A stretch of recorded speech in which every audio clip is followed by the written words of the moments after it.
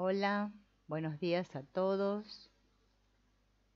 Estamos una vez más con estos encuentros, en este caso, de técnicas de liberación de memorias y emociones inconscientes, donde estamos explorando este libro que se llama El libro que tu cerebro no quiere leer, de David del Rosario. Y hoy vamos a hablar un poco de esto de la memoria de elefante.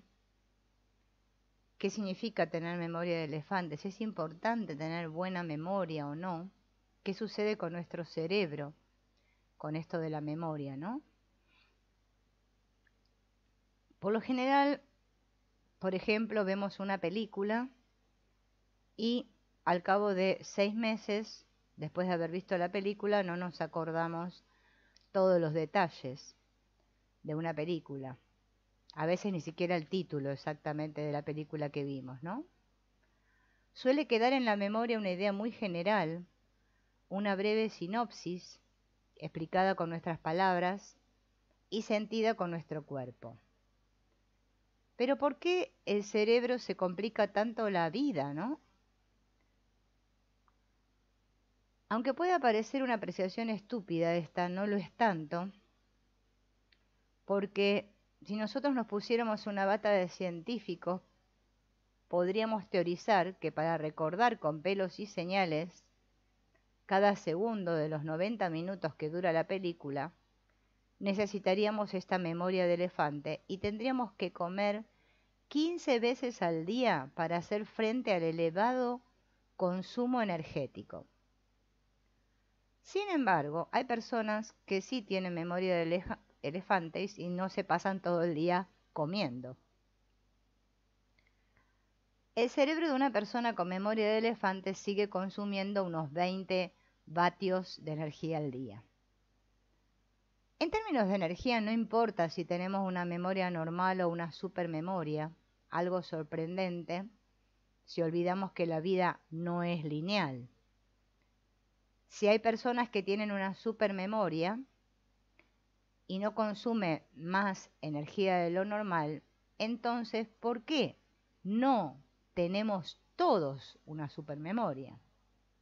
Hay dos motivos para esto. Uno, Tener una memoria prodigiosa hace que el cerebro pierda la capacidad de generar un presente apetecible porque no puede manipular los recuerdos a su antojo. El mundo que percibimos pierde coherencia y sentido. Y dos, necesitaríamos el mismo tiempo que dura la experiencia original para recordarla. ¿Y se puede saber qué diablos hacemos mientras estamos 90 minutos volviendo a ver la película en nuestra mente? La realidad quedaría totalmente eclipsada por el recuerdo y la posibilidad de ser atropellados por un coche mientras cruzamos la gran vía se dispara. Parecería que nos ha abducido un extraterrestre. Andaríamos absortos y con la mirada perdida. Además, la idea se volvería todavía más inviable si la teletransportamos a la época de nuestros antepasados. Mientras un grupo de Homo sapiens sapiens recuerda el festín de hace unos meses, cocinando un mamut, se convierten en carne de cañón para cualquier depredador durante las próximas horas. Su atención está puesta en el recuerdo, en cada detalle registrado en la memoria, y otro mamut podría aprovechar la coyuntura para tomarse la revancha. Existen personas capaces de dibujar con precisión milimétrica la panorámica de una ciudad tras observarla durante 20 minutos. Esta habilidad no solo está reservada a Dustin Hoffman en la película Rain Man, sino que es el caso real de Stephen Wilshire, un autista con el síndrome del sabio, capaz de fotografiar con la mente una ciudad y dibujarla posteriormente sin levantar la vista del papel. Hay una mujer estadounidense conocida por la literatura científica como JP, capaz de recordar con sumo detalle cada acontecimiento de su vida desde los 14 años. Jill puede volver a escuchar conversaciones con su marido de cuando eran novios sin despeinarse, recordar la lista de la compra de un día cualquiera de hace 15 años o acordarse del día que Magic Johnson anunció a los medios de comunicación que era portador del virus del SIDA en 1991. Una contrincante imbatible en el trivial sin lugar a dudas. Aunque esto pueda parecer un don, nuestros argumentos tendrían siempre la razón, algo que deseamos por encima de todas las cosas con nuestra pareja o podríamos usarlo para ganar el bote del pasapalabras. JP padece fuertes depresiones, dado que su cerebro se encuentra con muchas dificultades a la hora de construir un presente apetecible. El cerebro de personas como Jill, a la luz de los escáneres cerebrales, no es más especial que de una persona con memoria olvidadiza y creativa como la nuestra. Aunque presentan ligeras diferencias en la actividad de nueve regiones cerebrales, ninguna de ellas ha conseguido explicar en qué se basa la supermemoria. De un modo u otro, Daniel Offer y otros muchos investigadores han llegado a la conclusión de que el verdadero sentido de la memoria no es recordar fielmente la realidad. Dado que los seres humanos somos capaces biológica y neuronalmente de disponer de una memoria casi perfecta, como demuestra el caso de personas como JP, llegamos a la conclusión de que la supermemoria no es la opción más apta para el Homo honestus y simplemente por eso no ha sido elegida para la selección natural. La posibilidad de tener una memoria de elefante está ahí, pero de algún modo no es la mejor opción para cumplir nuestro propósito en el proceso de la vida. Algo que puede resultar extraño desde una visión lineal. La presión evolutiva empuja al cerebro a hacer un resumen de las experiencias que vivimos es lo más conveniente. Ahora bien, la cuestión es cuánto debemos resumir una experiencia a la hora de convertirla en un recuerdo. ¿Qué nos hace falta para averiguarlo? Un experimento. Vamos a citar al mayor número de personas sanas en nuestro laboratorio y a pedirles que traigan consigo la agenda. La metodología es sencilla.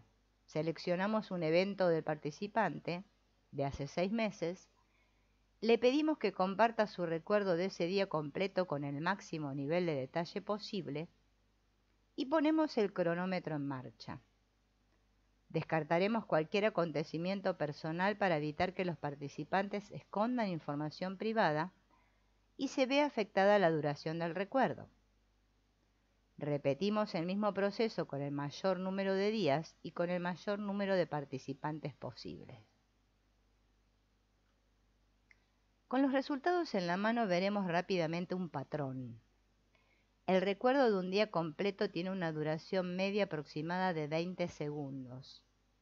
Los resultados insinúan que el cerebro de una persona que pasa despierta una media de 16 horas al día resume estos 57.600 segundos en 20.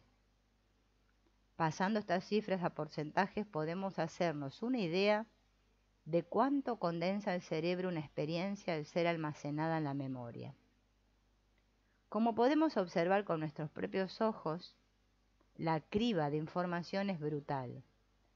Un recuerdo acerca de un día normal de nuestra vida representa el 0,0034% de la experiencia real. Las personas no tenemos la capacidad de recordar aquello que vemos, oímos o sentimos, sino aquello que creemos ver, escuchar o sentir. Esto ocurre porque el recuerdo se forma desde nuestra interpretación de la realidad y no desde la realidad directamente.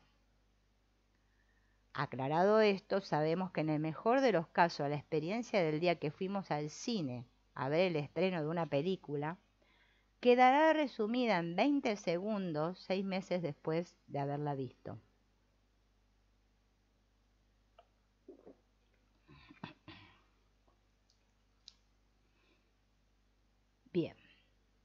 ¿Cuánta información de la escena real queda en un recuerdo con seis meses de vida? Asumiendo cuánto se resume la experiencia de un día completo pasado seis meses, nos quedamos con un 0,0034% de información. Y la cantidad de información del entorno que llega a la conciencia 0,5%. Un recuerdo contiene menos del 0,1% de toda la información existente en la realidad. El 99,9% de los datos los hemos perdido o modificado por el camino. En la práctica, el recuerdo que guarda el motivo por el cual hemos cambiado de trabajo o el recuerdo de nuestro viaje al Caribe ha dejado el 99,9% de la realidad a un lado. Puede que darse cuenta de esto ocasiona un auténtico cortocircuito en nuestro mundo, pero este shock es inevitable y necesario. Las personas somos una percepción de la realidad tratando de comprender la realidad, es decir, una interpretación de la realidad tratando de entenderse a sí misma. Con esto queda bien claro que nosotros lo único que hacemos es interpretar la realidad, no la vemos realmente como es, ¿no? Hemos visto los sentidos dejar de lado el 99,5% de la información existente en una situación de vida, a los recuerdos cambiar con el tiempo y a la memoria hacer un resumen sin miramientos, pero todavía no hemos dicho ni pío de las estrategias del organismo para modificar recuerdos. ¿Cómo son esos cambios y con qué criterios se llevan a cabo? Para esto tenemos que volver a la parte de nuestro cerebro llamada el hipocampo. Además de ser meticulosamente seleccionados todos y cada uno de los candidatos a recuerdos, asisten a un cursillo de formación antes de incorporarse al puesto de trabajo y entrar a formar parte de la memoria a largo plazo. Es así como el cerebro controla que ninguna manzana podrida entre en sus filas y asegura que los futuros recuerdos sean coherentes con la visión de vida de cada persona.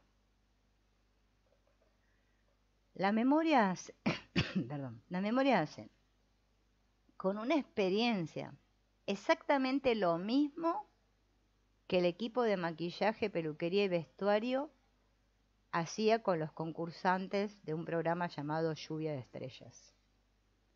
En ese programa televisivo los participantes debían imitar tanto la voz como la imagen de un famoso. Bertin Osborne presentaba a los concursantes vestidos de calle y los hacía pasar por una puerta repleta de humo. Poco después salían totalmente transformados entre aplausos del público. Lo mismo ocurre con todas las experiencias de vida. Se someten a un cambio de look, siguiendo una lógica muy simple. O cambia el cerebro o cambia el recuerdo. O sea, el recuerdo modifica físicamente las estructuras neuronales para adaptar al cerebro a una nueva experiencia de vida. O las estructuras neuronales modifican el recuerdo para adaptarlo a nuestra forma actual de ver el mundo. Las dos realidades no pueden coexistir. Al final, el hipocampo, ¿qué hace? se las termina arreglando para transformar las experiencias vividas antes de ser convertidas en recuerdos y mantener la coherencia en nuestro mundo, evitando así que todo cuanto hemos construido se desmorone. ¿Qué quiere decir mantener la coherencia? Cualquier cambio de look debe hacernos sentir que las experiencias corroboran nuestra forma de ver el mundo. Por ejemplo, el cerebro de una persona que ve un mundo injusto debe interpretar las nuevas experiencias de tal manera que siga viendo un mundo injusto. De lo contrario corre el peligro de entrar en un sinsentido, y esa persona difícilmente gozará de un presente apetecible. Por lo tanto, el cerebro no registra en la memoria lo ocurrido, sino aquello que nosotros esperamos que ocurra. El resultado es completamente diferente. Aun cuando las estrategias para modificar un recuerdo pueden ser muy diversas y, eh, y diversas, todas ellas tienen muy en cuenta nuestras expectativas hasta tal punto que cualquier material registrado en la memoria a largo plazo será coherente con nuestros planes de futuro. Por eso, cuando Daniel Offer rebuscó en la memoria de los participantes de su estudio, cuando tenían 14 y 48 años, encontró que sus cerebros habían modificado los recuerdos acerca de su relación familiar o sus tendencias políticas. Sus planes de futuro habían cambiado con los años y sus cerebros trataron por todos los medios de mantener la coherencia entre el pasado y sus objetivos futuros para poder ofrecer un presente coherente. En una situación de vida cualquiera, el hipocampo, con la inestimable ayuda de la corteza cerebral, selecciona de aquello que vemos, sentimos o escuchamos las cosas que ayudan a reafirmar nuestra forma de ver el mundo. Y si no existe, pues se lo inventa. Sigue la misma estrategia que con el nervio óptico o con la estabilización de la imagen visual. Esta invención pasa por reinterpretar la situación de vida de tal manera que sea coherente con nuestros planes de futuro, proyectando nuestros pensamientos y emociones sobre los demás, haciendo que parezca lógico y razonable. Este buen presente tiene un precio muy alto. Sin duda, el pato lo paga la objetividad y el resultado es una imagen mental hecha a medida de nuestro mundo particular que sustituye la realidad y es coherente con nuestros objetivos personales. Estos mismos mecanismos darán vida a los pensamientos. Las estrategias más peculiares para modificar experiencias se basan en atribuir a los demás nuestros propios pensamientos y sentimientos, en censurar o directamente hacer desaparecer acontecimientos dolorosos y conservar mucho más detalles positivos que negativos o neutros. Por ejemplo, si nosotros pensamos que nuestro jefe es un imbécil, nuestro cerebro va a tratar de reafirmar esa creencia para que todo tenga sentido. Y cada acción de nuestro superior, o sea, de nuestro jefe, ¿no? que nuestro jefe lleve a cabo, será interpretada por el organismo de manera tal que reafirme nuestra idea. Mi jefe es un imbécil. Todo aquello que sintamos deja automáticamente de proceder de la experiencia y nace de nuestra interpretación de la situación. Con esto yo supongo que queda re claro que nosotros no vemos lo que realmente pasa, sino que interpretamos la realidad. Por eso cuando el curso de milagros dice, no veo lo que está ahí, es que en realidad no estamos viendo lo que está ahí. Estamos viendo una interpretación que nosotros hacemos. Y nosotros vivimos un mundo interpretado, ¿no? Esa interpretación se convierte en la imagen mental que usaremos para relacionarnos con nuestro jefe. Entonces no estamos viéndolo tal cual es. El kit de la cuestión es darse cuenta de que estamos viendo el mundo a través de un filtro, de una imagen mental, y aunque tengamos la sensación de tener razón, no hay pruebas irrefutables de que nuestro jefe sea realmente un idiota. Tener razón es una sensación generada por nuestros mecanismos de defensa.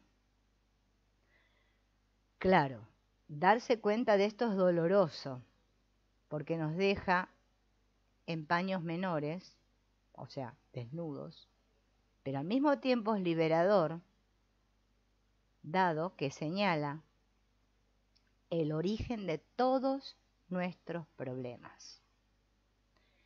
Este conjunto de mecanismos neuronales de defensa que manipula nuestra percepción de la realidad y dan lugar a nuestra interpretación particular de las cosas, es conocido también como ego. E, G de gato, O, ego. Así tenemos claro lo que es el ego, ¿no? Bien. Ahora podemos ver con claridad el ego y la relación que guarda con nuestros planes futuros. Bien.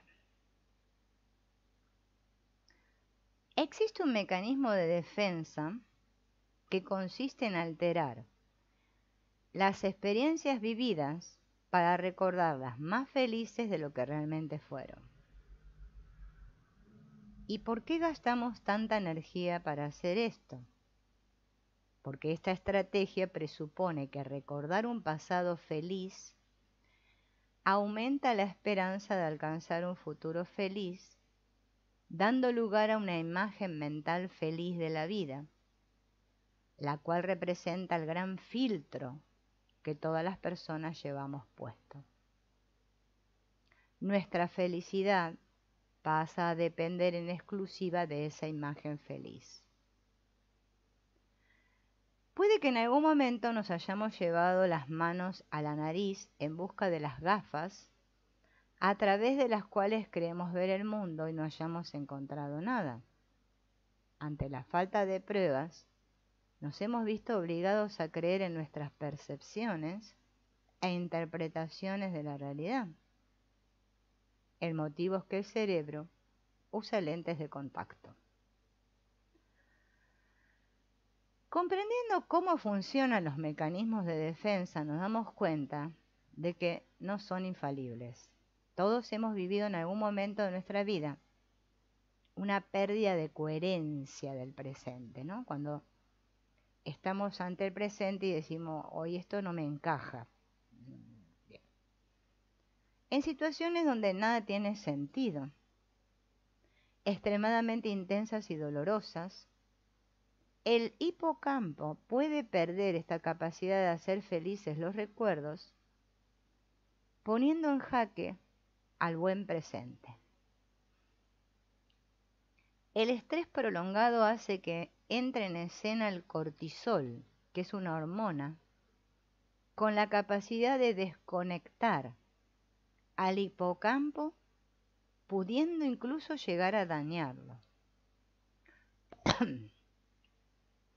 Cuando esto ocurre, de repente, las personas dejamos de ver un mundo con sentido y aparece esto que llamamos no comprendo, la incomprensión. Nos cuesta encontrar nuestro lugar. Nos sentimos perdidos, confusos. Perdemos la coherencia y con esta el sentido de vivir. Todos los mecanismos de defensa van fallando uno tras otro hasta que se produce el fallo total. El mundo no tiene ni pie ni cabeza. Hemos descubierto el pastel.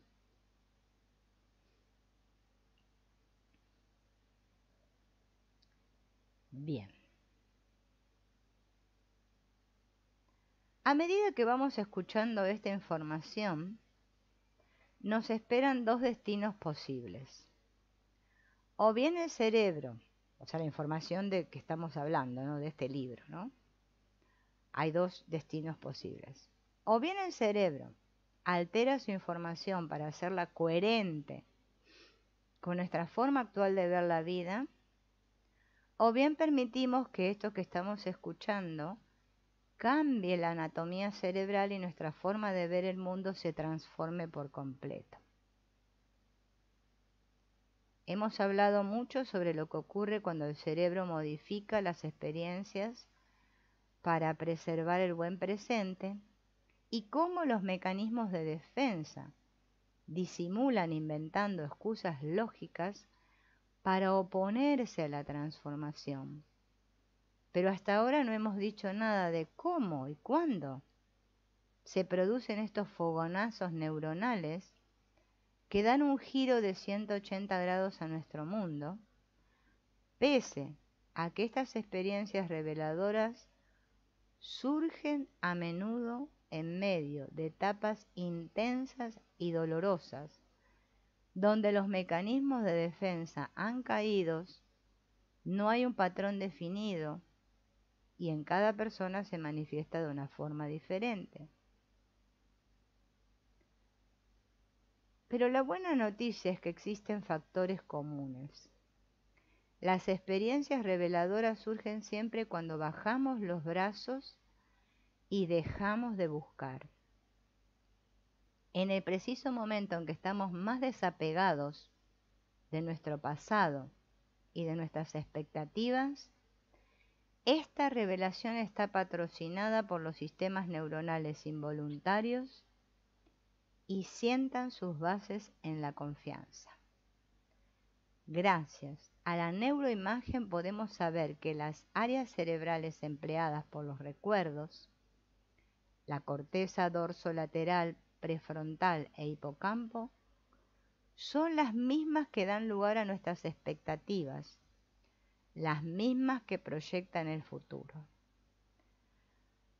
Por eso, cuando eliminamos las expectativas, el cerebro deja de alterar los recuerdos y buscar coherencia porque no existe una proyección futura que satisfacer. Sin expectativas, la memoria se queda sin una referencia para manipular recuerdos y pasa a ser un gasto de energía inútil algo sin sentido que cae por su propio peso. ¿Qué significa esto entonces? ¿Que no tengo que tener objetivos? ¿Acaso tengo que dejar de querer superarme, de, ser, de querer ser mejor persona, de querer mejorar mi calidad de vida? No. De hecho, un objetivo puede llegar a ser un estímulo muy positivo que nos abra las puertas del cerebro universal. Significa, ni más ni menos, que debemos dejar de tomar decisiones de vida basándonos en nuestros recuerdos o proyecciones futuras. Definimos objetivos y generamos recuerdos, pero nuestra vida no gira en torno a ellos. Y esto reduce al mínimo las expectativas y aumenta la confianza en la vida, algo que es fundamental para la felicidad. Para nuestro cerebro el futuro no existe, es una proyección del pasado y el pasado es a su vez una proyección distorsionada del presente. Si el pasado contiene un 0,1% de la verdad, ¿Cuánta realidad puede tener el futuro si es una proyección del pasado? Este trabalenguas tiende a cero. Cuando se habla de memoria o proyecciones futuras, la realidad tiende a cero. Esto quiere decir que no tiene sentido tomar una decisión de vida basándonos en el pasado o en el futuro o lo que es lo mismo, no tiene sentido tomar decisiones fundamentadas en recuerdos y proyecciones. Voy a aceptar esta oferta de trabajo porque seré más feliz. Encontraré parejas y adelgazo unos kilos. O no soporto a mi hermano por cómo se portó durante los papeleos de la herencia. Honestamente, Cualquier decisión que tomemos a partir de la memoria o de los sistemas cerebrales de proyección pondrá delante de nuestros ojos una imagen mental y la realidad la vamos a ver a través de un filtro. Los mecanismos de defensa saltan a la primera de cambio.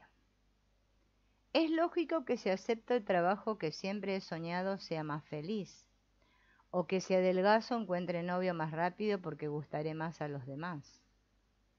Los sistemas de defensa siempre quieren tener razón y se presentan de manera lógica, pero no por ello dejan de ser un mecanismo de defensa.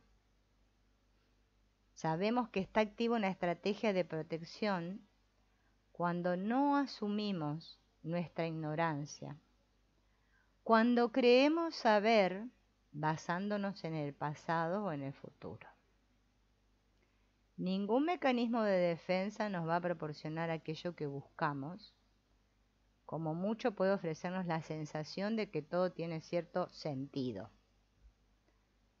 Este es el origen del sufrimiento y es proporcional a la diferencia entre una imagen mental y el proceso y el momento presente.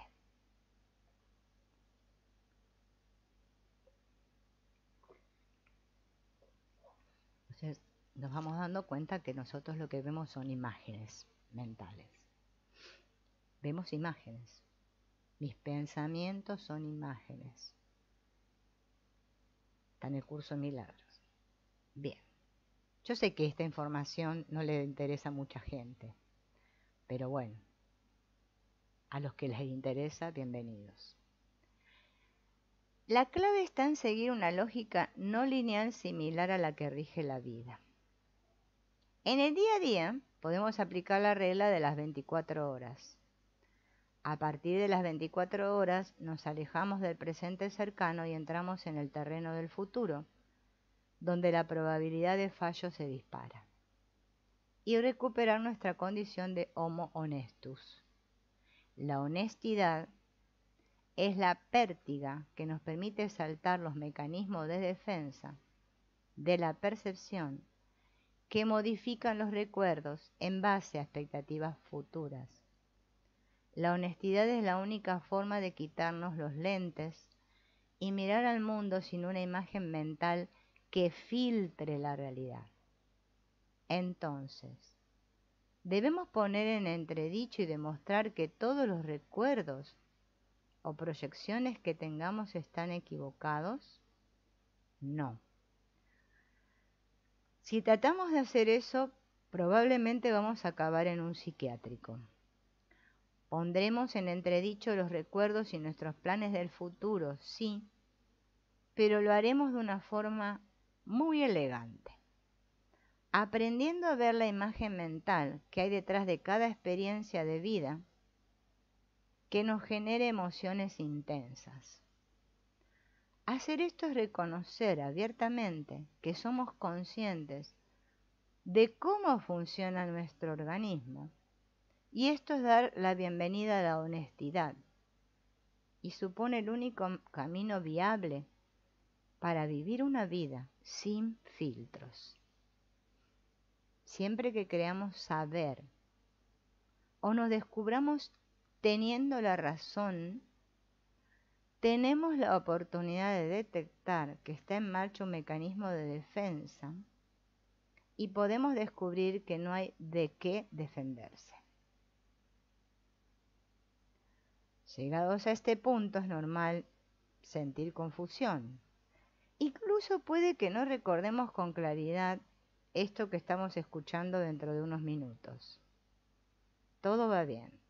Todo lo que hemos visto aquí confronta directamente nuestro sistema de defensa, nuestra percepción de la realidad y nuestro mundo, empujando al cerebro a perder la cordura que tanto se esfuerza por mantener.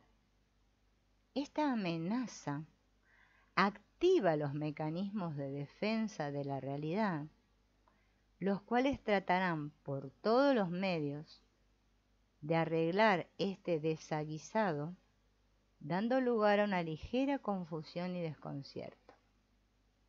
Muy probablemente los mecanismos de defensa fuercen al cerebro a olvidar gran parte de lo aprendido a lo largo de todo esto que venimos escuchando, para evitar que la anatomía cerebral se vea afectada. Tenemos que volver a los brazos de la honestidad. Si seguimos este camino nos daremos cuenta de que estos mecanismos solo pueden generar la sensación de retrasar ligeramente lo inevitable, pero igual es inevitable. ¿Qué significa volver a los brazos de la honestidad? Significa tomar conciencia de cómo funciona nuestra mente y nuestro organismo usando nuestras propias experiencias cotidianas. Y esto no se trata de un ejercicio intelectual, ni hacer un máster. No, eso no sirve de nada.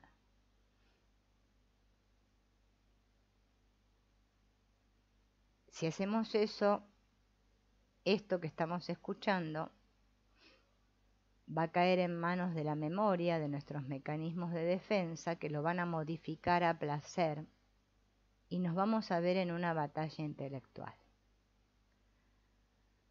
Y ahí vamos a sentir impotencia y sufrimiento.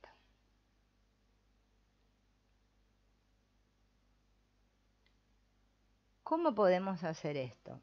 Viendo esto reflejado en nuestro día a día.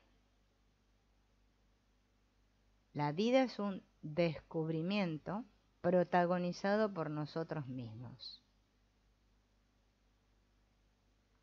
Antes de aprender cómo construye el organismo, los pensamientos y con qué fin, vamos a tomar conciencia del papel fundamental del sueño en nuestra vida. Las entrevistas y procesos de selección de las experiencias candidatas a recuerdos dirigidos por el hipocampo, tienen lugar mientras dormimos. Este proceso es conocido como consolidación de la memoria y engloba todas las acciones necesarias para convertir una experiencia en recuerdo. Durante el día, el organismo va seleccionando los primeros candidatos a recuerdo pero las entrevistas personales, los resúmenes y los cursillos de formación, todo eso se realiza cuando nos vamos a dormir. Mientras estamos despiertos percibimos la realidad usando los cinco sentidos. El sexto sentido, que conforma la sensación de bienestar interna, y el séptimo sentido, que es la memoria.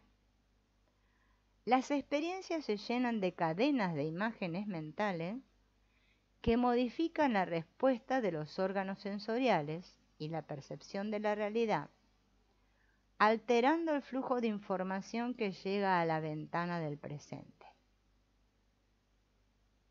Una vez terminado el día, el sol se oculta y nos vamos a dormir.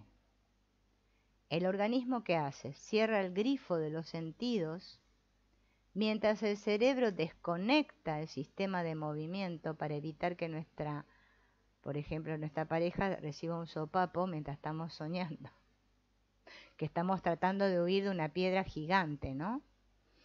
Como Indiana Jones. La conciencia desaparece. Durante el sueño, la percepción de la realidad se genera prácticamente con el contenido de la memoria y los nuevos candidatos a recuerdo. El escenario es perfecto para conectar memorias nuevas con antiguas, crear nuevas asociaciones entre imágenes, olores, sabores o emociones, y modificar experiencias vividas en base a nuestros planes de futuro.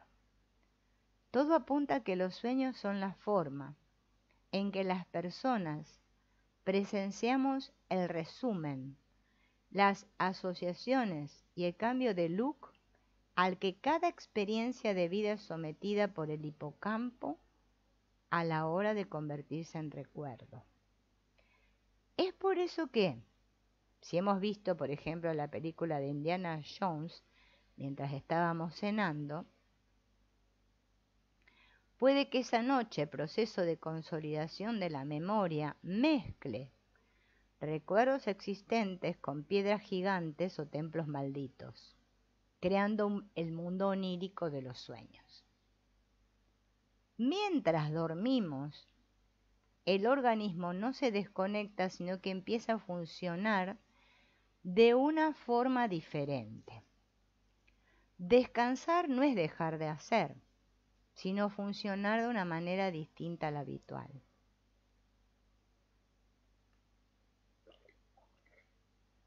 La vida nunca descansa. Para hacernos una idea, los procesos químicos que se llevan a cabo en el organismo cambian durante la noche y su actividad global solo se reduce un 5 o un 10% comparado a cuando estamos despiertos. Durante las horas de sueño el objetivo del cerebro se centra en consolidar la memoria y hacer coherentes esos nuevos recuerdos con nuestras expectativas futuras.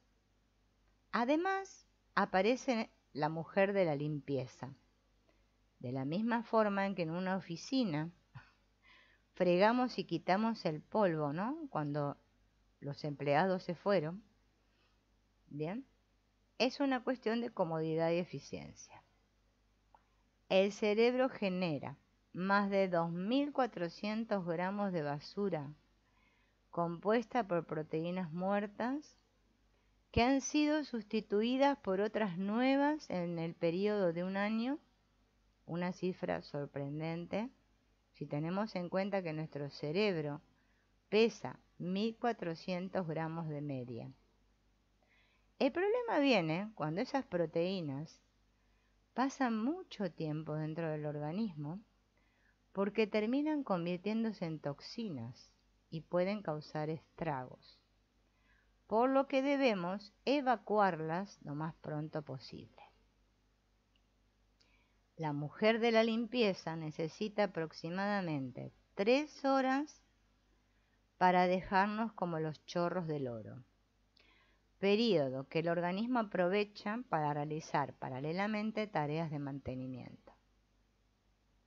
Todo esto fue descubierto en el 2012 cuando nos dimos cuenta de que el cerebro posee un sistema de canales específicos que sirven para transportar residuos hacia el exterior del cuerpo, el cual bautizamos como sistema, y escuchen esta palabra, GLIN, no LIN, GLIN con G, L, I, N, glinfático linfático. Bien. Bueno, ¿se acuerdan que la vez anterior habíamos visto todos unos caminitos muy lindos? Donde, eh, bueno, yo les había mostrado las imágenes, ¿no? Y habíamos visto esto que el autor le llama, esperen porque no me acuerdo si era plaque la palabra o era algo así. Ah.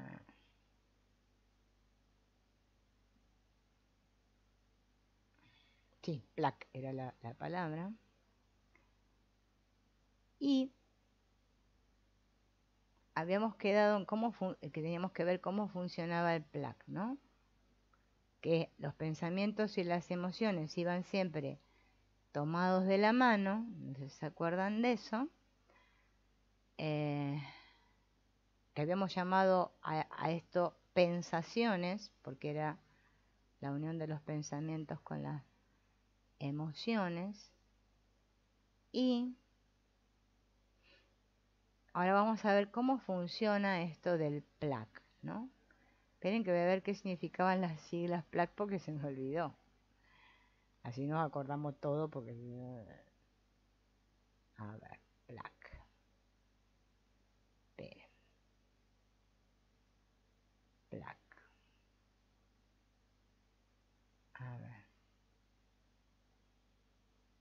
Mm. Él lo decía acá, pero creen que estoy buscando. Eh. Bueno, cuando lo encuentre de vuelta lo voy a decir porque ahora no lo puedo encontrar.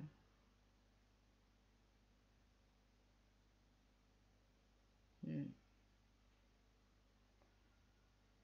O sea, ¿qué significaba esa sigla? Black. Mm.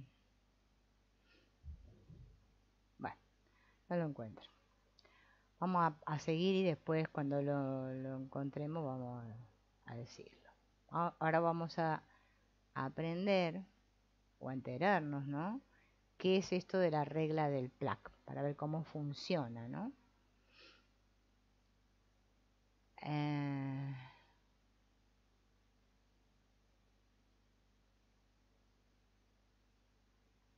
¿Se acuerdan que habíamos visto los ejemplos de Donald Trump y la Mona Lisa? Todos tenemos claro que el origen de las emociones anteriores que despertaban Donald Trump y la Mona Lisa, ¿no?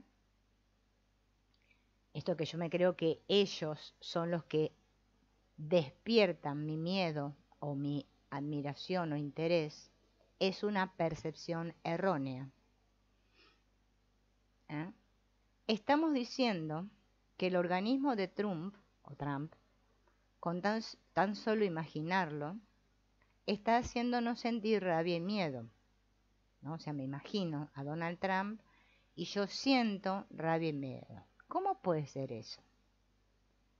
Existe una acción fantasmagórica a distancia, un sistema oculto de comunicación que conecta a un desconocido mediante ondas desconocidas y nos hace sentir rabia o miedo? Bueno, hasta el día de hoy no hay ningún experimento que demuestre esta hipótesis. Sin embargo, asumimos diariamente que aquello que sentimos viene producido por las personas, lugares, animales o cosas que me rodean. Bien, todos creemos que es la realidad la que me afecta.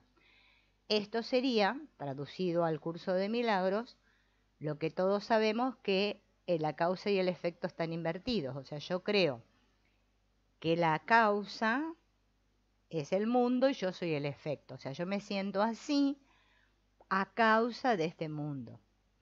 Cuando la la realidad es al revés. La causa soy yo que percibo el mundo así. Bien. Vamos a tomar de vuelta, ¿no? Entonces,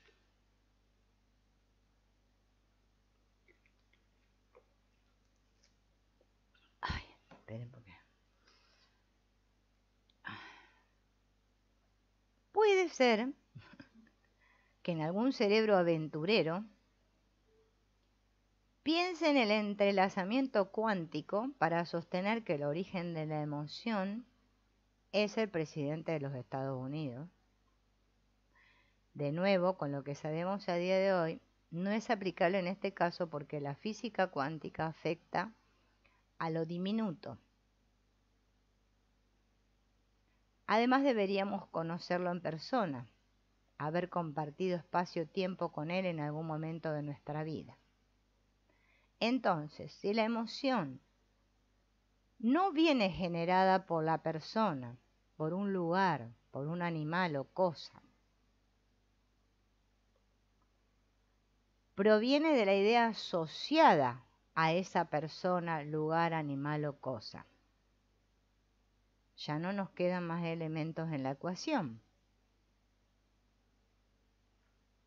Entonces, Donald Trump era la idea, o sea, la idea que asociábamos era está mal de la azotea. Plac, idea asociada. Origen.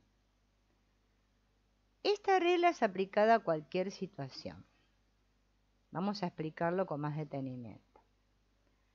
Todo aquello que yo siento, ya sea rabia, ira, miedo, bueno, lo que sea, cuando prestamos atención al pensamiento, en este caso estamos trabajando con este pensamiento, Trump está mal de la azotea, no viene dado por la persona, en este caso Donald Trump, sino por la idea asociada a esa persona. Es decir, sentimos está mal de la azotea, aunque en un principio pueda parecernos raro, incluso irritante, esta visión del mundo terminará imponiéndose y haciéndose evidente para toda la humanidad en un futuro. ¿Por qué? Porque es la forma de funcionar de nuestro organismo día a día. El razonamiento es simple, lógico y aplastante. Si lo que yo siento viene determinado por Donald Trump, ¿no? que es como muchos hemos creído hasta ahora, todas las personas deberíamos sentir lo mismo acerca de Donald Trump. Sin embargo, hay más de 7 mil millones de sentimientos y emociones diferentes acerca de Donald Trump, tantos como personas, ¿no?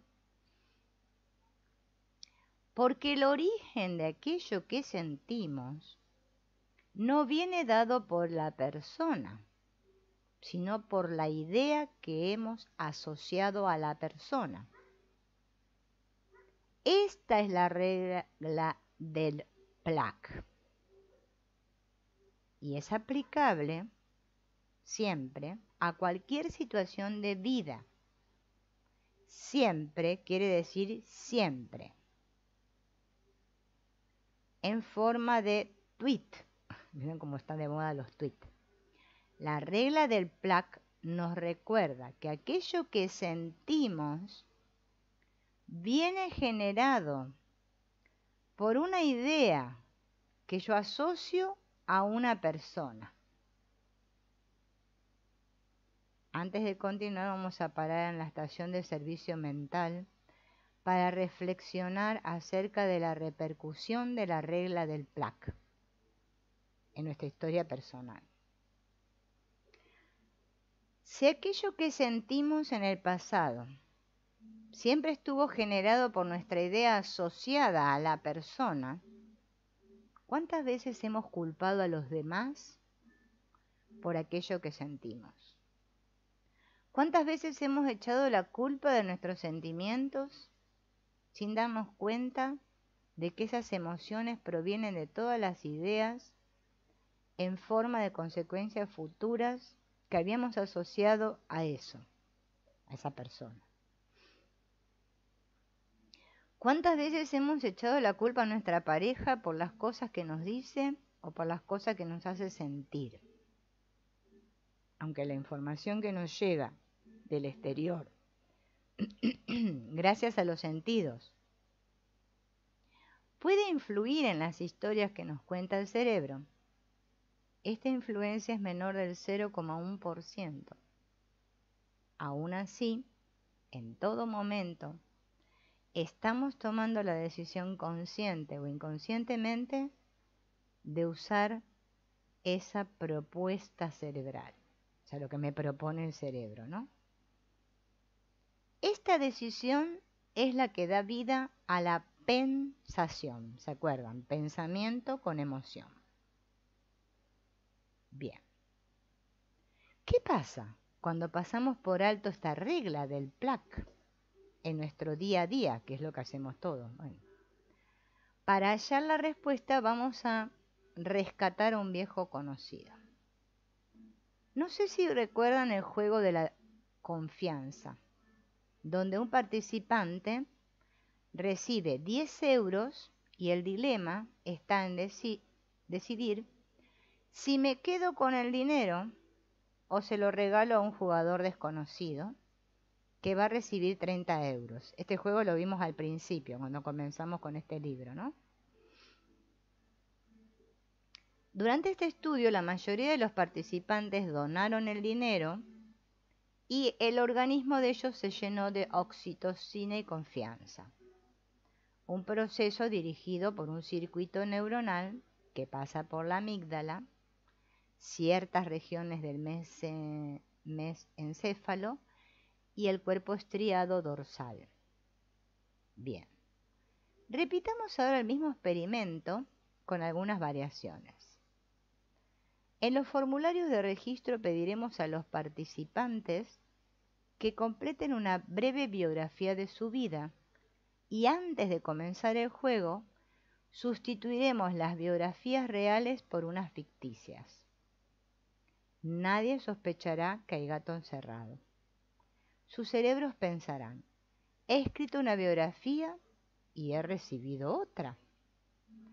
Todo coherente. ¿Y qué conseguimos con esto?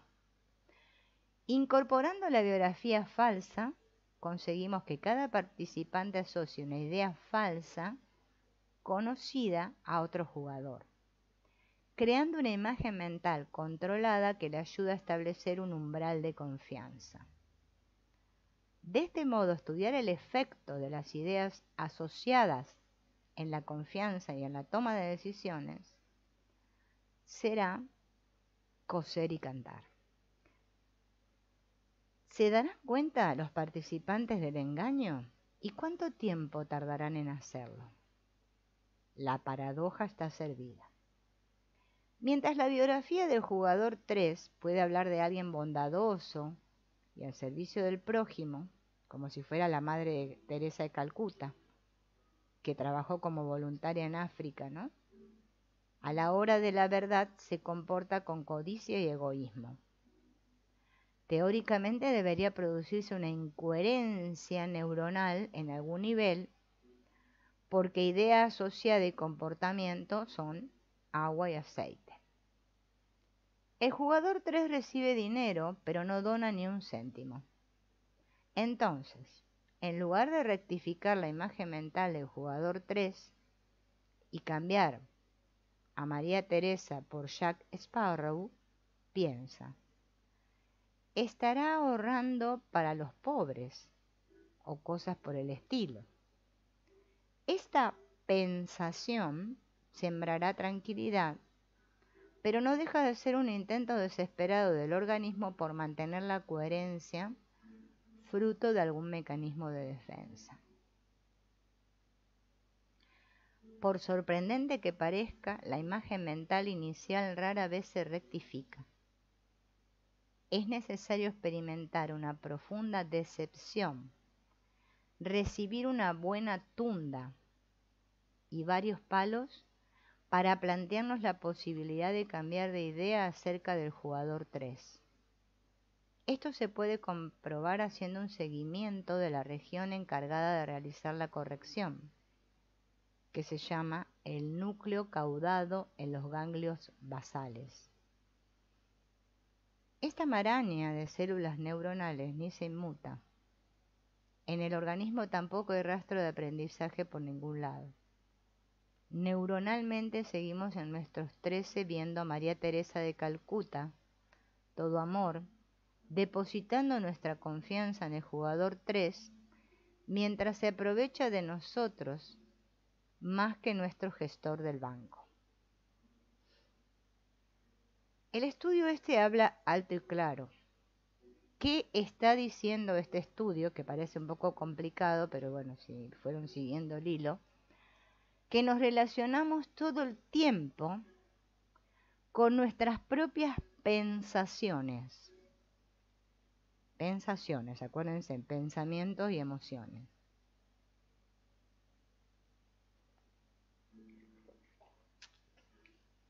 El cerebro asocia a personas, lugares, animales o cosas una idea, mientras los mecanismos de defensa de la percepción tratan de esconder estas asociaciones para que pasen desapercibidas.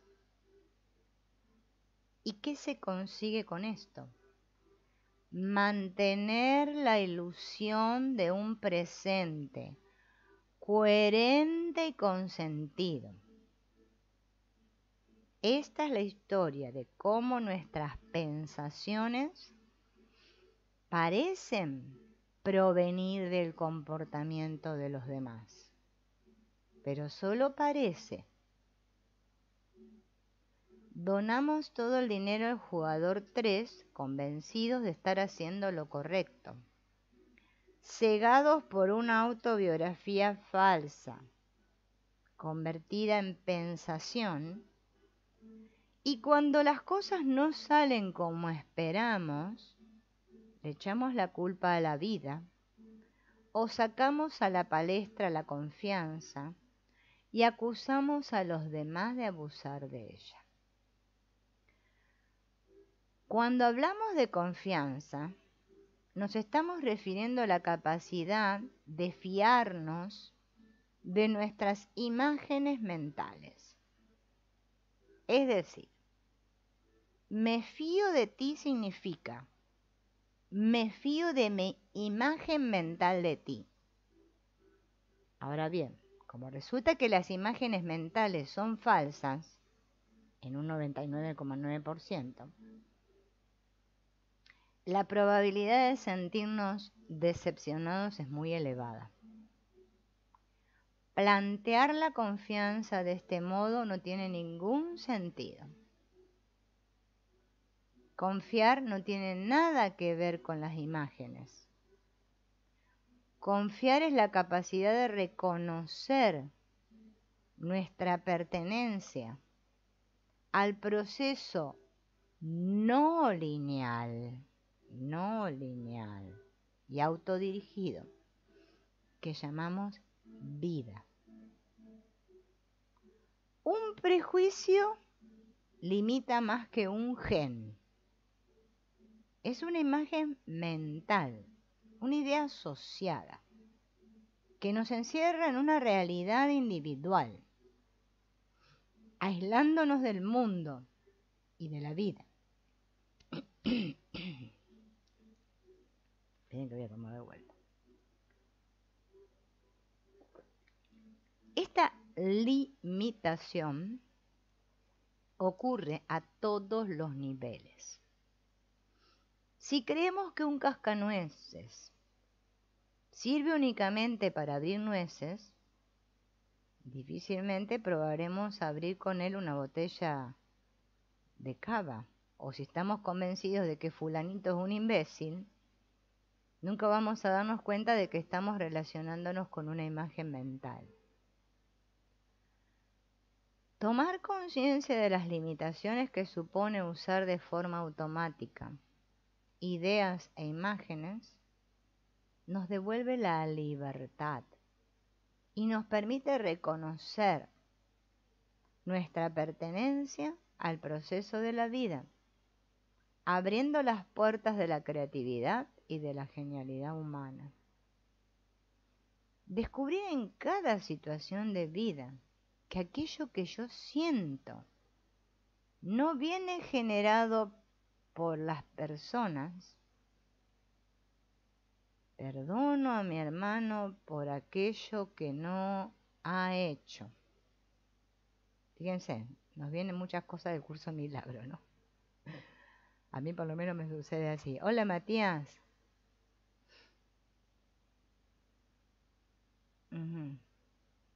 Con mi hermano, con el que ya no hablo. Ah. Bueno, Fíjate que lo que está diciendo acá el autor, ¿no? Si nos basamos en esto de los sueños, hay que ver qué asociaciones mentales, ¿no? Vos haces durante el día para que después durante la noche tengas esos sueños. Bien. Entonces, darnos cuenta de esto, de que yo me relaciono con imágenes mentales y no con personas reales. Yo sé que, claro, uno cree que es una persona muy real. Pero bueno. Y tomar conciencia de las limitaciones que supone usar de forma automática estas ideas e imágenes nos devuelve la libertad. Descubrir en cada situación de vida que aquello que yo siento no está generado por esa persona, sino por ideas que yo he asociado a ellas es aplicar esta regla del plac a lo cotidiano. ¿Mm? Esta es la única barrera que nos separa a todos de la felicidad. Bien.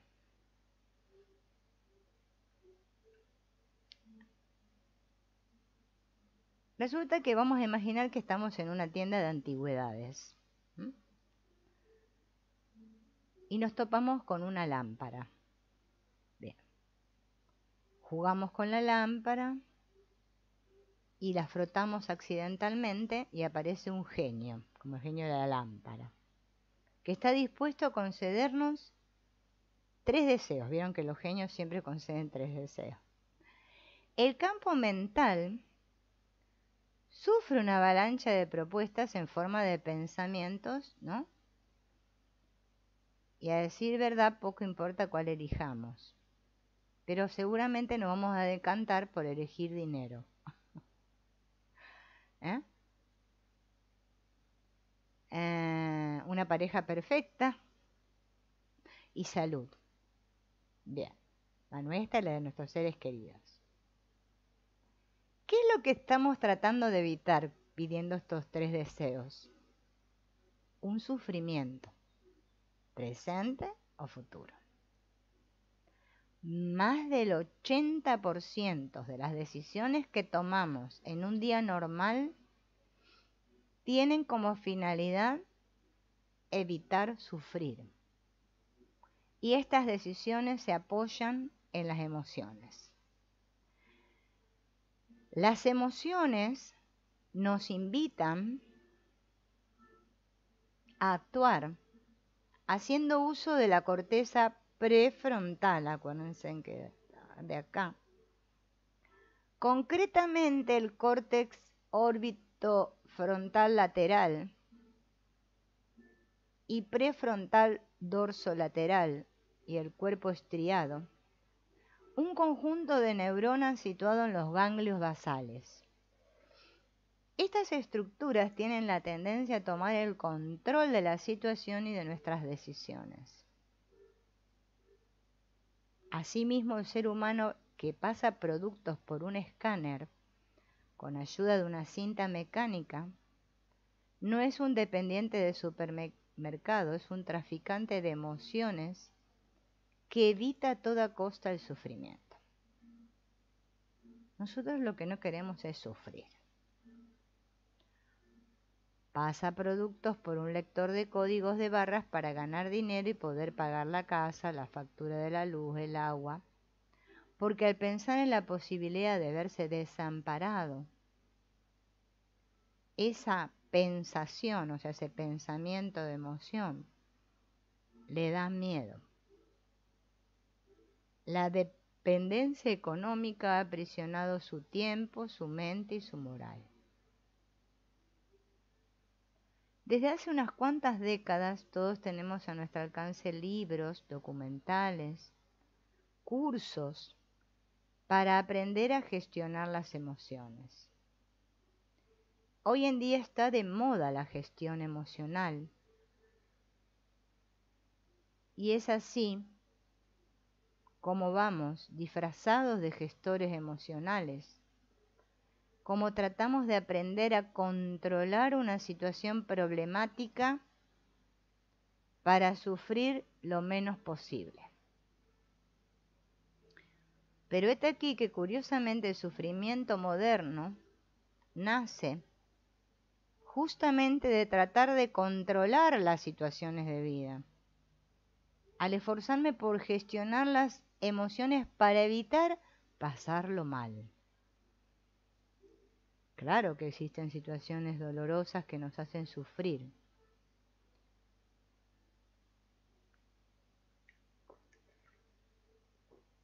Pero estas situaciones ocurren entre 20 y 30 veces de media a lo largo de toda una vida. La muerte, un divorcio, no sé, ir preso, una enfermedad, un despido. Sin embargo, las personas sufrimos mucho más de 30 veces a lo largo de una vida.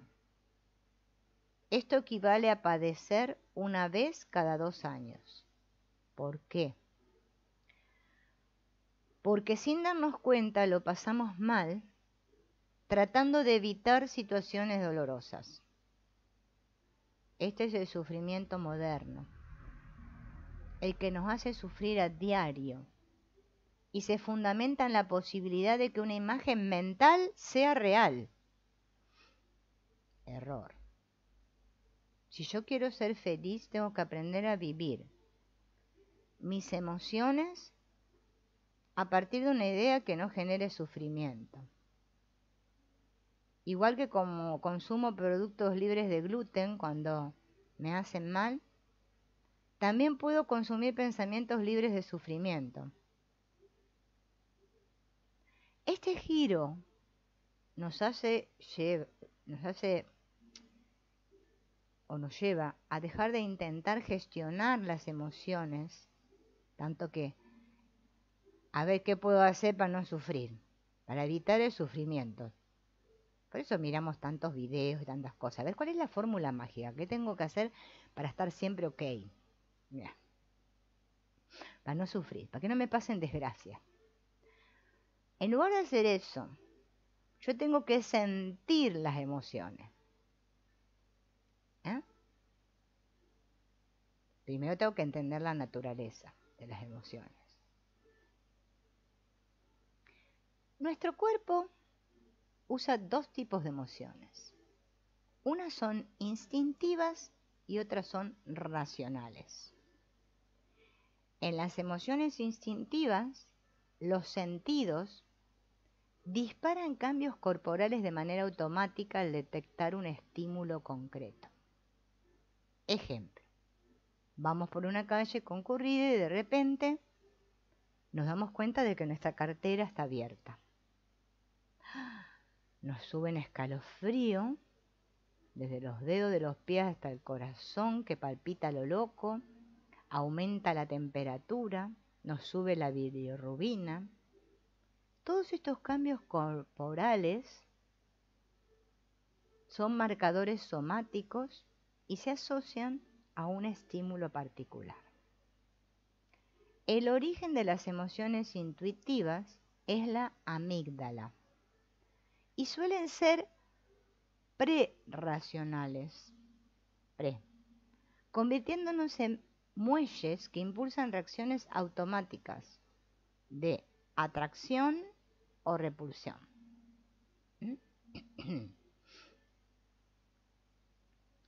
Ni siquiera sabemos si nos han robado o no, pero por las dudas, por si las moscas, ya mi cuerpo genera todas esas emociones. Bien.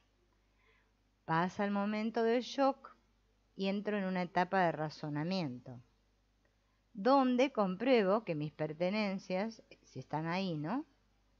Y según el resultado, el cerebro genera pensamientos del tipo, ay, menos mal que no me robaron nada. O me han robado todo. ¿Y ahora qué hago? ¿Qué hago? Mm, ese qué hago es típico. El sentimiento empieza a depender de las pensaciones. Puede que todavía queden unos restos de emoción intuitiva inicial y estamos en disposición de teorizar acerca de lo sucedido y la emoción instintiva empieza a ceder terreno a las pensaciones que toman el control de la situación. Dejamos atrás las reacciones típicas de un bebé de cinco meses para razonar y pensar en las consecuencias. Eh, vendría a ser la otra cara de la moneda. El estímulo no proviene directamente de los sentidos, o sea, del exterior, sino del campo mental interior, donde los recuerdos, proyecciones del futuro, o cualquier otro tipo de pensamiento se convierte en el origen de la emoción. Es decir, que en las emociones racionales el estímulo es siempre interno y tiene su origen en el pensamiento. Estas pensaciones siguen a raja tabla la regla del plac. Podemos pasarnos la vida tratando de gestionar nuestras emociones ignorando que nacen de las cosas que pensamos. Ahora bien, seguramente terminaremos por cansarnos del tema y volveremos a dejarnos arrastrar por ellas. El organismo funciona como funciona. Cualquier estrategia que deje de lado al cuerpo humano está condenada al fracaso. Si estamos cansados de probar y probar, sin resultados. ¿No sería hora de tomar conciencia de cómo funciona nuestro organismo? Y así simplificaríamos nuestras emociones. De este modo, las emociones dejarían de ser como extraños, generados por personas o situaciones de vida externas, y pasarían a ser algo interno, un elemento del campo mental asociado a un pensamiento concreto que llamamos pensación. ¿Mm? Bien. Claro, cualquier cerebro puede pensar. Muy bonito, pero hacer esto no es tan fácil. Dejando a un lado los mecanismos de defensa, esta idea tiene parte de razón. ¿Por qué? Cualquier pensamiento que nace en el campo mental se sostiene sobre una base, sobre un pensamiento raíz. Lo que ocurre es que al encontrarse con el subsuelo del campo mental, forma parte del sistema inconsciente y es invisible para nosotros. Ahora bien, al poner la atención sobre alguno de los pensamientos asociados al pensamiento raíz, la emoción que sentiremos será una mezcla entre la emoción asociada al pensamiento y la emoción asociada al pensamiento raíz. Por eso a veces nos cuesta tanto identificar con claridad la emoción que deriva de un pensamiento concreto. Y vamos a ver un ejemplo. Y antes tomo agua.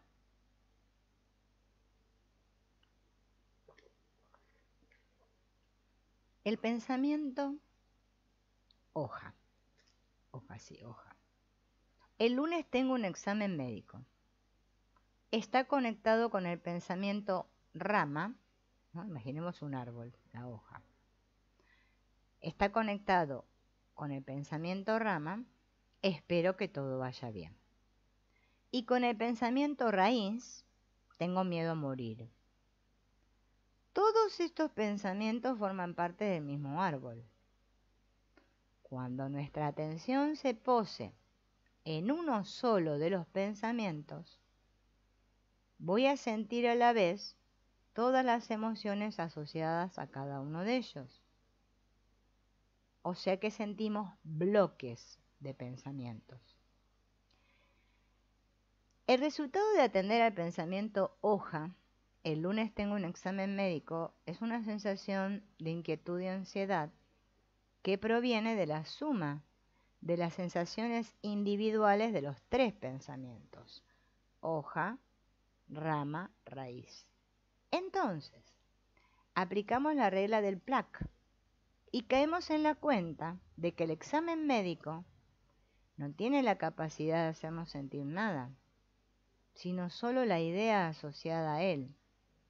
Lo que ocurre es que nos encontramos de bruces con el pensamiento hoja. El lunes tengo examen médico y como aquello que siento me parece desmedido, yo creo que no proviene de él. Y ahí me hice un lío. El verdadero protagonista del asunto, el pensamiento raíz, tengo miedo a morir, está oculto en el subsuelo del campo mental. El reto consiste en seguir la pista hasta dar con ese pensamiento raíz. Pero ¿cómo lo hacemos? Debemos mirar cualquier pensamiento y esperar. El cerebro no tardará en contarnos una historia, así como las historias que nos contamos, ¿no?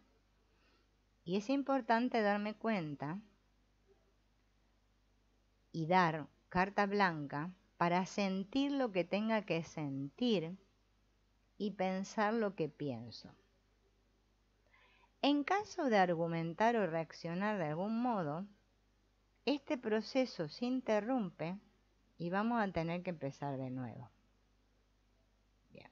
Volviendo al ejemplo, al dirigir la atención al pensamiento hoja, el lunes tengo un examen médico, se destapa la cháchara. La cháchara. El lunes tengo un examen médico. Espero que salga todo bien. ¿Te imaginas que me pasa lo mismo que si me llegara a pasar lo mismo que al amigo de mi prima? ¿Cómo era que se llamaba? Pedro. Él también fue al médico para una revisión y le encontraron un tumor. Los médicos siempre te encuentran algo. ¿Bien? Una de las claves, entonces, para entender las emociones es darme cuenta de que el fruto, es decir, la emoción resultante del árbol, es la suma de la calma que produce el pensamiento hoja. El lunes tengo examen médico. La incertidumbre del pensamiento rama. Espero que todo vaya bien. La ansiedad del pensamiento tronco. Al amigo de mi prima le encontraron un tumor. Y el miedo que nace del pensamiento raíz, el miedo a morir. A lo largo de todo este culebrón neuronal, que está al mismo nivel de la maruja del barrio, el cerebro va dejando entrever pensaciones y sus conexiones. Durante el descenso por el árbol del pensamiento, la emoción sentida se va haciendo cada vez más y más grande. Esto es física en estado puro. Si yo me monto en un cohete y viajo a la Luna, veré durante el camino cómo el tamaño aparente del satélite cambia. Cuanto más me acerque, más grande me va a parecer el satélite. Pero es solo una sensación, porque la Luna siempre mide lo mismo. Y esto se aplica a las emociones. Las sentimos y se vuelven gigantescas porque estamos yendo hacia ellas. Sin embargo, solo es una percepción, una sensación aparente que proviene de la acción de mirar. ¿Mm? Y no se trata de mirar con los ojos. ¿eh? ¿Y qué ocurre cuando alunizamos? O sea, en la luna. Al pisar la luna descubrimos que la luna está hueca. Todo aquello que había sido intenso y sobrecogedor se transforma en reposo, en calma. Y esto sucede porque al igual que ocurre con cualquier forma de energía, las emociones ni se crean ni se destruyen, solo se transforman. El modo que tiene un organismo de transformar una emoción es sintiéndola. ¿Y en qué se transforma? En esencia, pero solo si la siento. Una vez sentida la emoción se transforma en esencia.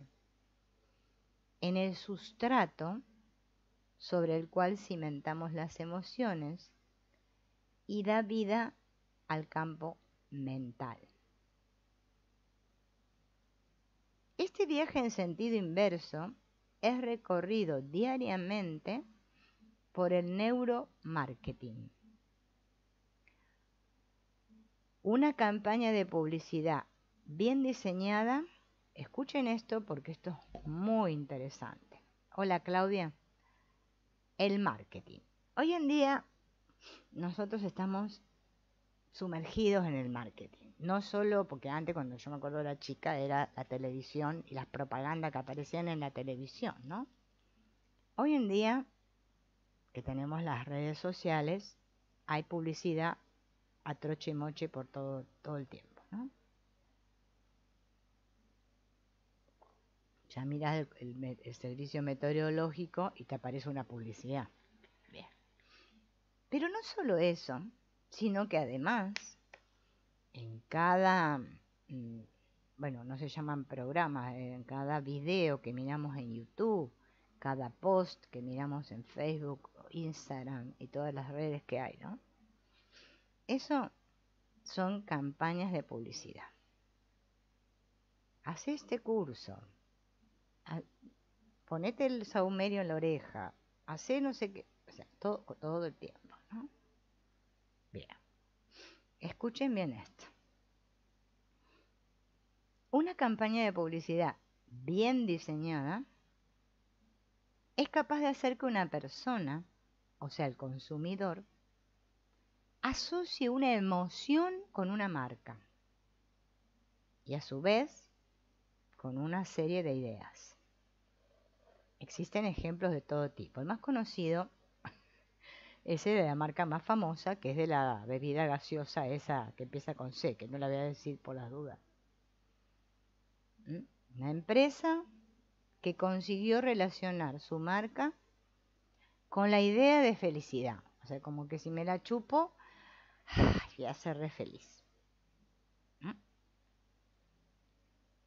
Hasta el 2016, donde la estrategia de marketing da un giro y se centra en el producto, hemos visto eslogans como la felicidad es siempre la respuesta, tomate una y sonreí, destapa la felicidad. O sea que el marketing sabe que el organismo genera un pensamiento raíz cuando nos bombardean con estímulos repetitivos, del mismo modo que ocurre con los controles de un coche cuando aprendemos a conducir o con las palabras de un idioma que estamos aprendiendo a hablar. Yo lo, he podido comprobar, bueno, que estoy acá en este de YouTube, como cuando yo subo un video, depende del título que tenga el video si las personas lo consumen o no. Si no les gustó el título, ni lo miran. Y yo no entiendo porque el contenido del video es, bueno. Pero como a mí no se me ocurrió, vean, a mi cerebro no se le ocurrió un título, wow, que captara la atención del usuario, entonces nadie lo mira. Hay un libro hablando del usuario que se llama La ilusión del usuario. No me acuerdo el autor, porque es un nombre, creo que Max Long, creo yo que es ese. Bueno, no me acuerdo, algo así. El autor, tengo mis dudas de cómo era, ¿no? Pero el libro se llama La ilusión del usuario, que habla justamente de esto también. De esto habló mucho el doctor Len con el del Hoponopono. Bien, entonces sería así. La marca esta de la gaseosa, felicidad, igual a felicidad, igual emoción, bienestar. O sea, la idea asociada al plaque es que si yo tomo esta bebida voy a sentir felicidad. Hemos puesto nuestra atención tantas veces en anuncios y carteles que toda esta información, porque no solo nos entra por eh, los cartelitos, por lo que dice el cartelito, sino también por el color del cartelito, las palabras que tiene el cartelito, etcétera, etcétera. Hay de todo, ¿no? Sí, sí, sí. Si el cartel tiene una persona que está sonriendo o está triste o no sé qué. Bien. Esto llega, toda esta información llega a los ganglios basales, sembrando la semilla que daría lugar a un pensamiento raíz en el subsuelo del campo mental. Es la forma en que el organismo tiene de ahorrar energía y automatizar procesos. O sea, el pensamiento raíz Coca-Cola igual, ay, pero la dije la palabra, no quería decir, igual a felicidad, se activa y comienza a recorrernos una ligera sensación de felicidad cuando nos encontramos en el, supermercado con esa bebida. Yo tengo asociaciones muy malas con esa bebida, porque me ha hecho tan mal que, como que fíjense, ¿no? Bueno, para, por más que me digan que da felicidad, a mí no me trajo ninguna felicidad. Paralelamente, el organismo, ¿qué hace? Echa manos de recuerdos personales y experiencias relacionadas con la bebida para dar forma a determinados pensamientos que terminarán de pulir la emoción. Aunque la corteza cerebral tiene la última palabra, la sensación generada por ese pensamiento raíz es instintiva. Y esta compañía de la bebida parte con una gran ventaja. Ha conseguido colarse en nuestro organismo y asociarse con una sensación de bienestar. Con esto en mente, no es de extrañar que el inventor, que fue un farmacéutico, que se llama John Pemberton, vendiera 25 botellas en el primer año de comercializar el producto y actualmente la empresa vende un millón seiscientos, perdón, un billón seiscientos mil litros de bebida al día. Así estamos. Después dicen que nos dominan los Luminatis y no sé qué seres extraterrestres de qué planeta. Pero no, nos domina la propaganda. Esos son los Illuminati. Yo por eso me río, porque es que nos creemos cualquier cosa. Y más si es en masa, que todos creen en eso. Allá vamos. Así estamos. Bien. Entonces, ¿qué esconden los pensamientos raíz? Hemos visto que cualquier pensación está conectada a su pensamiento raíz y que esa raíz en un principio es invisible para nosotros. Para llegar ahí tenemos que seguir la pista de cualquier pensación que esté conectada con este pensamiento raíz. Pero ¿qué significa seguir la pista? Prestar atención a la historia que nos cuenta el cerebro sin evitar sentir lo que siento o pensar lo que pienso. ¿Qué es lo que yo quiero hacer? Evitar, evitar. Dejar, la gente dice, ay, es que yo quisiera tener la mente en blanco. Es que, que eso es imposible. o no quisiera sentir dolor, no quiero sufrir. Nosotros lo que queremos es escapar, escapar todo el tiempo. Por eso hacemos cosas. Y ahora miramos videos, todas estas cosas que hacemos, leemos muchos libros, a ver si no, se nos ilumina el cerebro y a ver si entendemos de una vez por todas. Yo les digo porque a mí me pasa muchas veces. Encima después vengo y hablo de esto, ¿no? Porque somos así, estamos programados así. Bien. Por eso esto es para darnos cuenta. Bien. No es que yo sea ninguna superdotada dando clases, conferencias de esto. Estoy leyendo el libro que escribió este hombre que está maravilloso, porque la verdad me, me hizo darme cuenta de muchas cosas. Ojalá ustedes también, ¿no? Así somos más. Bueno, aunque solo hay uno, pero no importa. Uno cree que somos muchos. Bien, entonces, tengo que aprender a prestar atención un detective que trata de fotografiar a un marido infiel, imagínense un detective. La señora lo contrató para que saque la fotografía que compruebe que el marido es infiel. El detective no va a evitar que el marido sea infiel. No, porque entonces nunca va, nunca cometerá la infidelidad. Entonces no lo podrá agarrar con las manos en la masa. ¿El detective qué hace? Observa.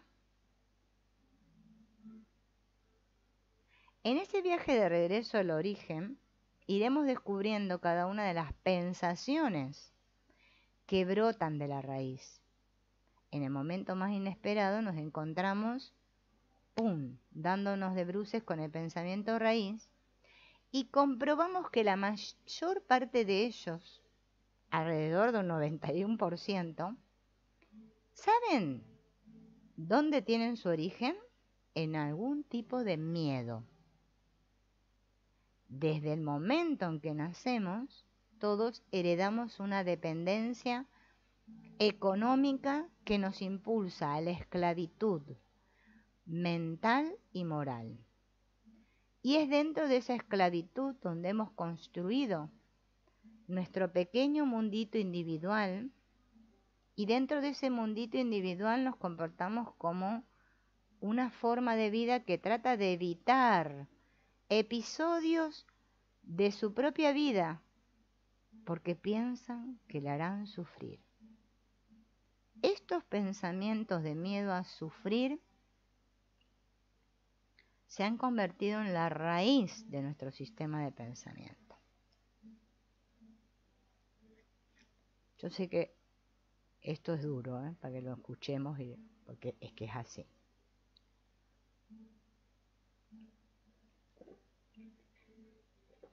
Por eso hay que ser detectives y observarse uno, ¿no?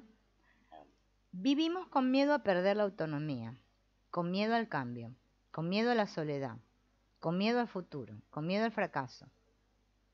Y sobre todos estos pensamientos de miedo, construimos nuestras vidas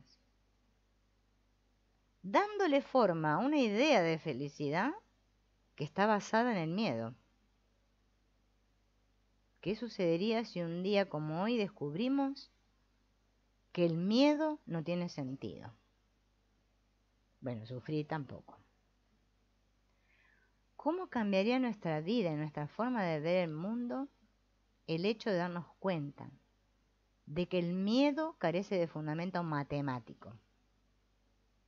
Sí, el miedo ni se crea ni se destruye, se transforma.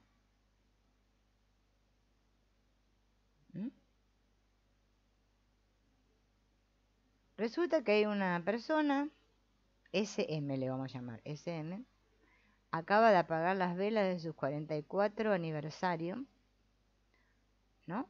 Cuando entra a formar parte de la investigación en los laboratorios de la Universidad de Iowa no, lo bueno, perdón, Iowa. Los científicos trataban por todos los medios de hacerle sentir algún tipo de miedo y resulta que no tuvieron éxito. Empezaron reviviendo con detalle la pelea doméstica que llevó a su compañero sentimental a perder el juicio y amenazarla primero con un arma blanca, después con una pistola. Luego la, pasaron, la pasearon por lugares tétricos, casas encantadas, le proyectaron películas de terror, la acompañaron a tiendas de animales llenos de serpientes venenosas. Los científicos no encontraron la más mínima traza de miedo. La paciente SM era incapaz de sentir miedo.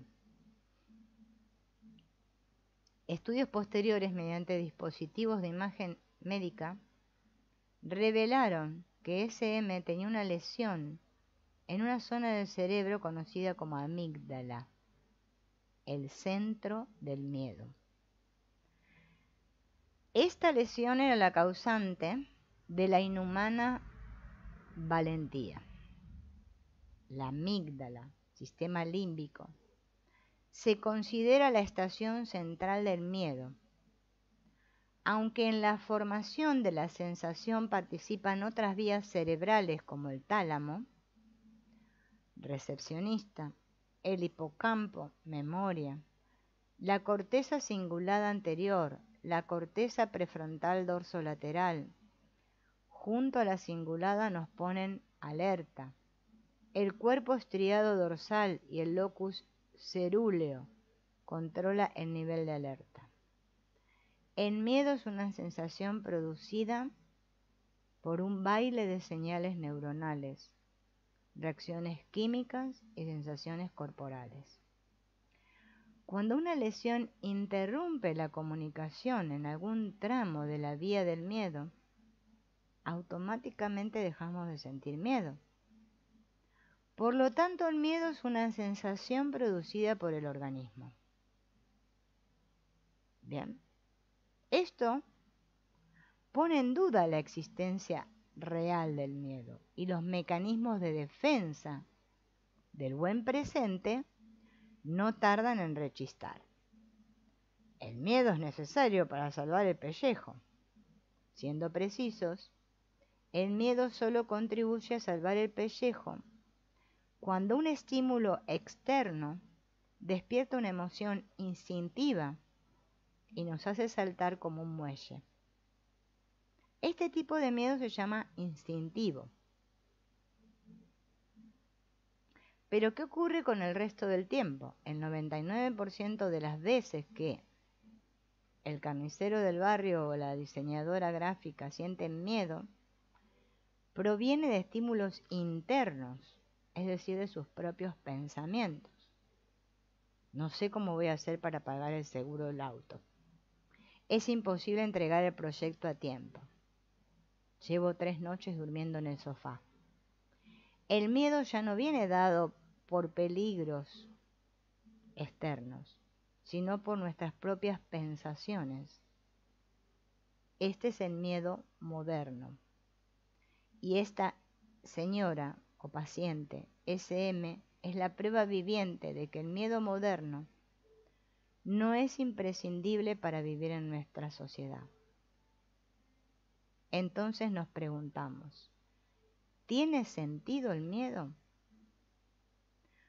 Alrededor de 10.000 personas al día buscan en Google cómo superar el miedo a volar. Tomando prestados unos datos de la libreta del profesor de estadística del Instituto de Massachusetts, Arnold Barnett, vamos a calcular la probabilidad de morir en un accidente aéreo. Hay una posibilidad entre 25 millones de estrellarnos. Esto quiere decir que cuanto más grande sea el número que escribimos detrás de una posibilidad entre, más astros deben alinearse para que ese algo ocurra. Con los datos en mano veremos que tener un accidente aéreo es muy poco probable. Pero ¿cuánto de poco probable? Necesitamos comparar este dato con otros supuestos.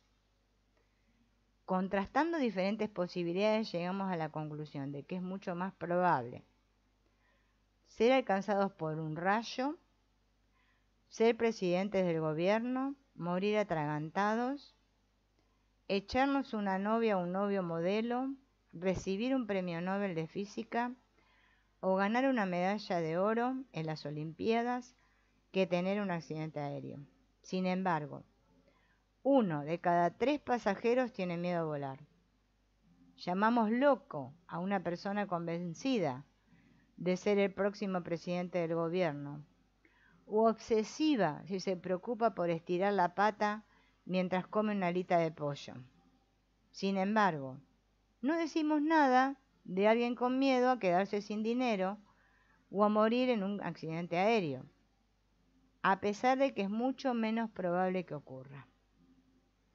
Además, la posibilidad de que los miedos cotidianos acierten es mínima. Nuestra forma de ver la vida, estadísticamente hablando, no tiene mucho sentido.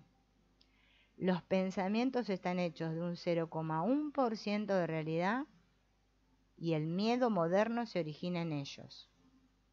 Las matemáticas lo dicen alto y claro. El miedo moderno no tiene sentido. Pero hombre, más vale prevenir que curar, ¿no? No a cualquier precio. El miedo ordeña las glándulas suprarrenales y las obliga a segregar cortisol, una paloma mensajera que pone todo el organismo en alerta. La respiración se acelera, el corazón palpita como si no hubiera un mañana, la tensión arterial se pone por las nubes las pupilas como platos. Y los procesos a largo plazo, digestión, crecimiento, sistema de defensa, o de inmunidad, ¿no? Se detienen a la espera de encontrar una solución. En ese momento, si nos hacemos un análisis de sangre, vemos que el organismo está regido por la biología del miedo vivir constantemente estresados, bajo el influjo de los procesos moleculares del miedo, tiene un impacto directo sobre la esperanza de vida, la salud y la felicidad de las personas. Y en la próxima vamos a ver el experimento de Frankenstein, pero se los dejo para la próxima. Bueno amigos, voy a saludar a Matías, a Claudia y a Janet. Y la verdad que gracias a ustedes por acompañarme porque yo disfruto del libro igual que ustedes. Está muy bueno. Nos vemos en la próxima. Chao.